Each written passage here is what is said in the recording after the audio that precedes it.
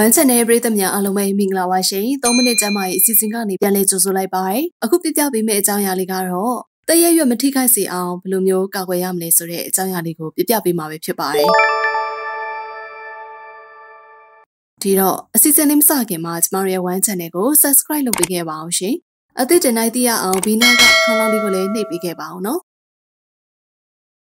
တရရွက်ဟာကိုရင်းမှာရှိတဲ့သွေးတွေရှည်တွေကိုညီမျှအောင်ထိမ့်ပေးနေရတဲ့အစိပ်ပိုင်းတစ်ခုပါ။ဘိုက်ရဲ့ဘဲဘက်ချမ်းမှာရှိပြီးတော့တ िश ူးနှမျိုးနဲ့တရရွက်ကိုဖွဲ့စည်းပေးထားတာပါ။အနီအောင်တ िश ူးကတော့သွေးတွေကိုစစ်ထုတ်ရတဲ့တာဝန်ကိုထမ်းဆောင်ရပြီးအိုဟောင်းသွားတဲ့သွေးနျူ cells တွေကိုစစ်ထုတ်ရတာဖြစ်ပါတယ်။အပြွန်တ िश ူးကတော့ယောဂပိုးတွေကိုတိုက်ထုတ်တဲ့ T cell and B cells လို့ခေါ်တဲ့ခုခံအား cells တွေအပြည့်နဲ့ဖွဲ့စည်းထားတာပါဒီတော့တရက်ရွက်ကသွေးတွေကိုတင်ထားပြီးစစ်ထုတ်ပေးတယ်ကိုရင်းတွေကိုယောဂပိုးတွေဝင်လာရင်သူကဖမ်းပြီးတိုက်ထုတ်ပေးရဲဆိုတော့ တရက်ရွက်ကလည်းတခြားကိုရင်းကလေးစာတွေနည်းတူအရေးကြီးတဲ့အရာတစ်ခုပဲဖြစ်ပါတယ်။ဒါအပြင်အစာချေစနစ်မှာလည်းတရက်ရွက်ကမပါမဖြစ်အရေးကြီးတဲ့အရာပါ။တရက်ရွက်ကိုဘယ်အရာတွေကထိခိုက်စေတတ်တာလဲ။စိတ်ဖိစီးမှုများတာ၊ကျန်းမာရေးနဲ့ညီညွတ်တာတွေမစားတာ၊ရာသီဥတုအေးတာတွေကြောင့်တရက်ရွက်ရဲ့ကျန်းမာရေးကိုထိခိုက်စေနိုင်ပါတယ်။ထိခိုက်ဒဏ်ရာတစ်ခုခုကြောင့်တရက်ရွက်ပြဲဆုပ်သွားတာယောဂပိုးတွေကြောင့်တရက်ရွက်ကြီးနေတာတရက်ရွက်ကန်ဆာတွေကတရက်ရွက်ကိုထိခိုက်စေနိုင်တဲ့အကြောင်းတွေဖြစ်ပါတယ်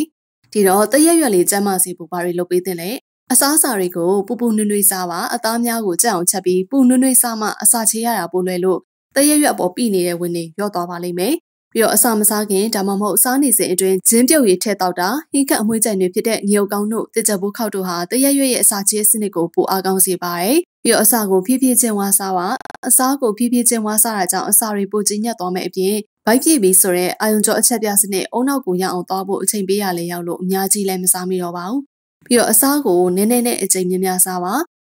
တခါလေးပြည့်အင်းနေအောင်စားရတဲ့နည်းနည်းချင်းစီအကြိမ်ရင်များများစားတာကသင်ရဲ့အစာချေစနစ်ကိုကူညီရရောက်ပါတယ်။ကစီတက်ကြွယ်ဝတဲ့အသီးနှံတွေကိုစားပေးပါ။ရွှေပြုံသီးကစုံအမိုလာဦးနီပဲအမျိုးမျိုးတို့ဟာကစီတက်ကြွယ်ဝတဲ့အစားအသောက်တွေဖြစ်ပြီးတော့အမြဲတက်ကြွယ်ဝတာကြောင့်သင်အစာချေစနစ်ကိုကူညီပေးမှအသေးချပဲဖြစ်ပါတယ်။အချိုစားများလို့နာစီးချိုဖြစ်စေုံသာမကသင်ရဲ့မိုးချိုအေကိုရောတရက်ရွက်ကိုရောထိခိုက်စေတတ်ပါတယ်။ဒါကြောင့်အချိုလျှော့စားပါ။ ဒါတွေကတော့တရက်ရွက်ကိုမထိခိုက်အောင်ဘယ်လိုကာဝယ်သင့်လဲဆိုတဲ့အကြောင်းအရာလေးကိုပြပြပေးခဲ့တာပဲဖြစ်ပါရဲ့ရှင်အခုလိုမျိုးအကျိုးရှိစေမဲ့ကျမ်းမာရေးဘူးတုဒလေးတွေကိုကျမတို့ One Channel ကနေစဉ်ဆက်မပြတ်တင်ဆက်ပေးမှာဖြစ်တဲ့အတွက်ကြောင့်ဆက်ဆက်ဆောင်ကြည့်အားပေးကြဖို့မမေ့ကြပါနဲ့ဟုတ်ရှင်